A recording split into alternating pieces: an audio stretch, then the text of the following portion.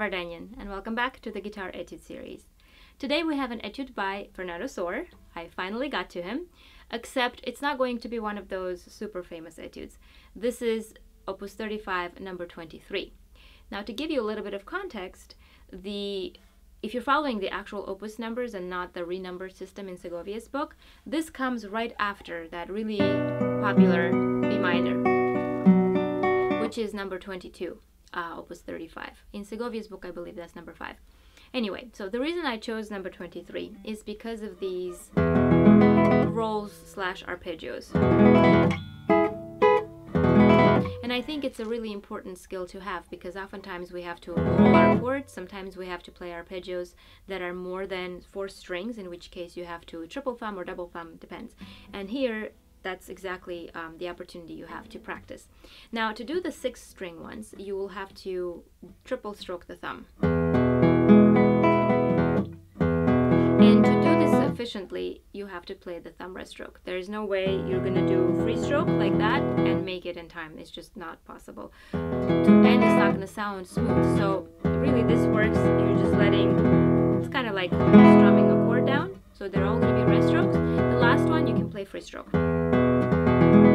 But the key thing is to make it even. Not like you can't just let those go and then slow down. So Key thing to keep it even. And then with the ones that are only five strings, you do double, double thumb, and then IMA. Now the way it's written, you end on M. note that's on the eighth note, on the, the beat. There are some that are across four strings, in which case it's just a regular, no double, just P, I, M, A, and that's how you would practice all of them. Um, what I did also just for practice sake, instead of stopping on M, the arpeggio, I added the last note um, and I completed the arpeggio. Which I actually thought it kind of sounded cooler and fuller.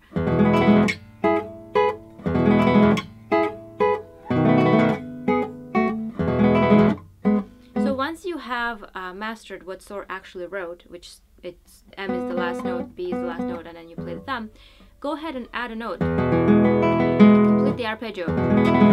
And practice it that way just for technique's sake. Why not? Um, I wouldn't perform it that way because it's not what's written, but for practice, go ahead and change it. And that makes it a, a complete all six strings, and then you return that. With the uh, with the complete return. Now, the next step, what you can also do is complete all of the strings. So instead of stopping on the second string or the alternative stopping on the third string, go ahead and do all the way to the sixth string.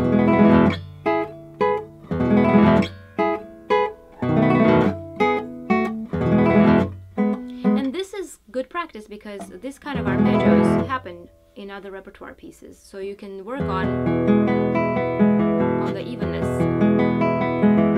Or just being able to drag your finger and then coming back and playing the other notes. Now, of course, if um, the notes are only five, don't go to the sixth string, don't add a note that doesn't belong, and on the five.